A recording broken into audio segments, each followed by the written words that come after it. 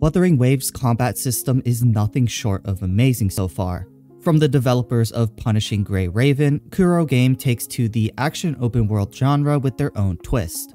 I've been a longtime player of PGR in the background without the burden of creating content, and if there's one thing that Kuro Game took from their previous game into Wuthering Waves, it's a unique combat system and fast-paced fights. This guide will hopefully teach you everything you need to know about Wuthering Waves combat system to get you hyped about the game. Without further ado, let's get this guide rolling.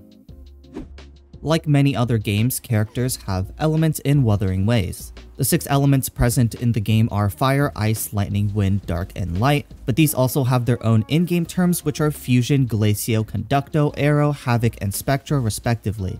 I will refer to these elements by their proper names for the rest of the video, so take your time to remember them now. Once you take the battlefield, there are 5 different attacks you can perform with the normal attack button. Each character has their own string of normal attacks as well as a heavy attack, plunge attack, evasion attack, and a parry. Heavy attacks and plunge attacks consume stamina from the player's stamina bar, while evasions refund stamina from dashing if timed correctly. It should go without saying that evasion attacks only happen if the player presses the attack button after a successful dodge, while heavy attacks require you to hold down the attack button and plunge attacks require you to attack midair. Parries can be triggered by any damage from the player's active character, but most often you'll time the parry correctly with a simple normal attack. You'll know when an incoming attack can be parried when the enemy has a yellow circle on their model, but that doesn't mean if you attack any time it's visible, you'll get a parry. Instead, this yellow circle just serves as a sign that you have the chance to parry and should pay attention to the timings of the attack and respond by pressing your attack button at the right time. Larger enemies and boss enemies have an extra gauge under their health bar that is reduced every time you land a successful parry. Once these gauges are depleted, the enemy will enter a stun state where you're free to DPS the enemy down without worrying about dodging.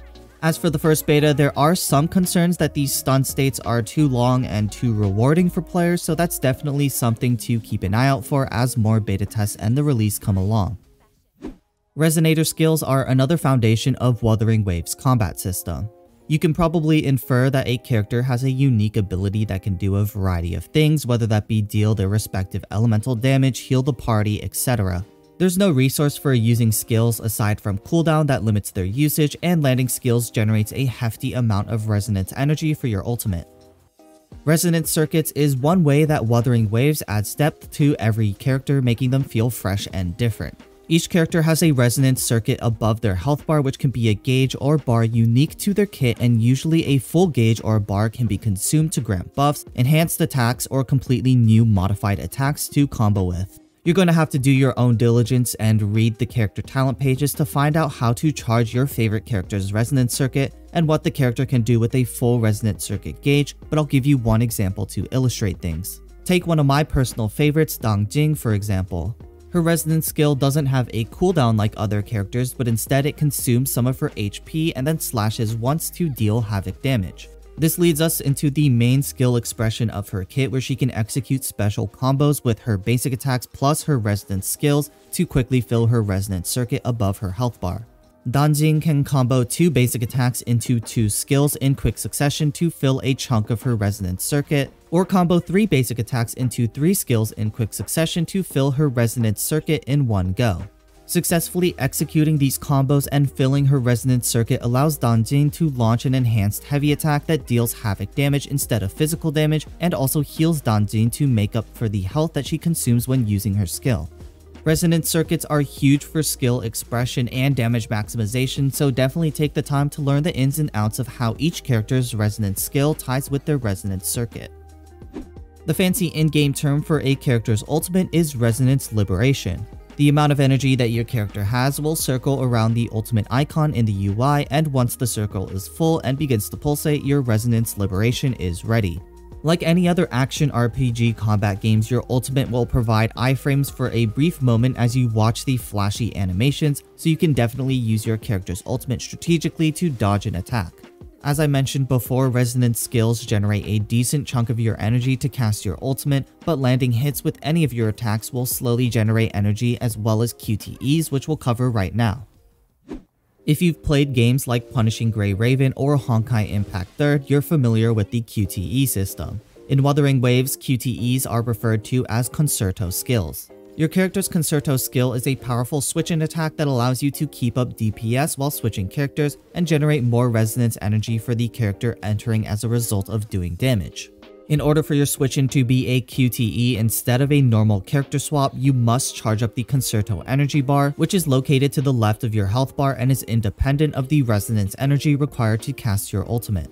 Just like Resonance Energy, this bar also charges up when dealing damage, whether that be through your attack combos or skill. Each character has their own Concerto energy bar and when you QTE, the character that switches out consumes their Concerto energy. If the character switching in has some of their bar already filled up, that energy is not consumed and they can continue building up that energy from where they left off last time they were on the field. Now that you're familiar with the elements and the Concerto skill QTE system, that gives us the foundation to go over Concerto effects, which is the most complicated part of the combat system directly tied to your characters. Think of Concerto effects as elemental resonances based on the pairing of elements in your party, and certain effects will take place based on the element pairing of the characters switching out and in with QTEs. In general, several different pairings of elements will give you the same effect, so let's briefly go over all the combinations that will net you each unique effect in battle.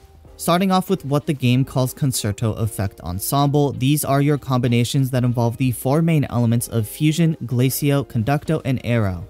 Within the category of Concerto Effect Ensemble, you can get a 40% damage increase to your attacks, Resonance skills, or Resonance Liberation depending on the specific QTE combos.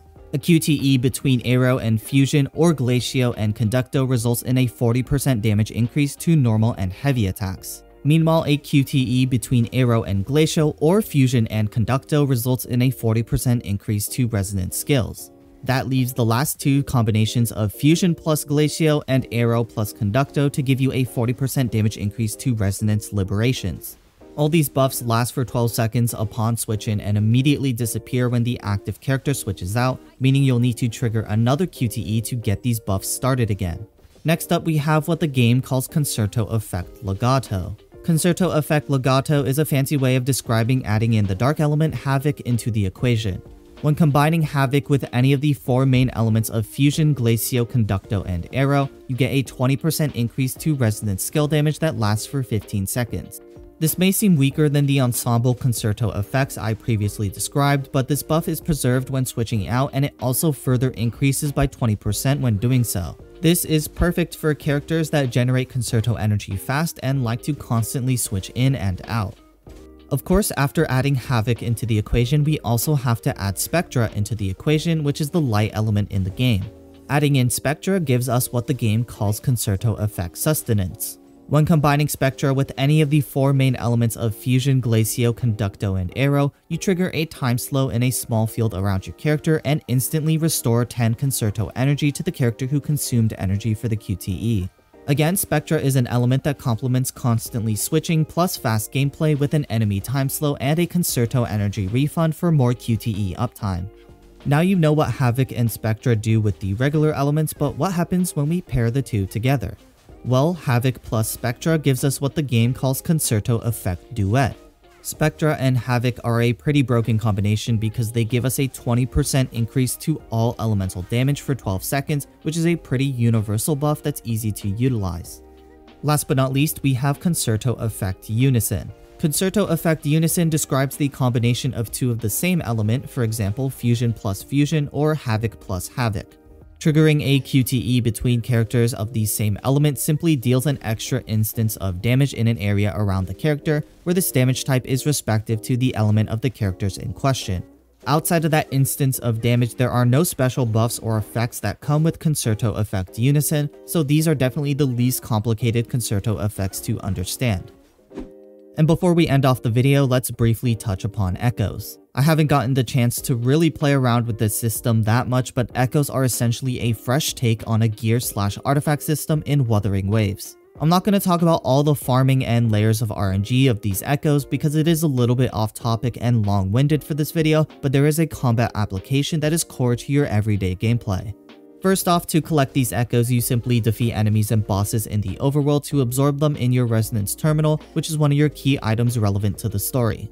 Once you absorb the echo of a monster, you can equip it to a character's main echo slot to give them an extra skill in battle. Depending on the echo, this skill can have you transform into the monster and control them to launch an attack, or simply summon the monster and have them launch an attack independent of the player's control as if they were a pet. Echo skills are able to generate Concerto energy for QTEs and Resonance energy for ultimates, so farming echoes in the overworld and equipping them to your characters are something to focus on in conjunction with leveling up your characters. With that, let me know what you guys think of the Wuthering Waves combat system down in the comments below. If you enjoyed this guide or thought it was useful, be sure to support both the video and the channel. You can follow me on Twitch, Instagram, TikTok, or sub to the YouTube channel, whatever people do nowadays. Other than that, it's the same as always. I'll see y'all in the next one. Peace.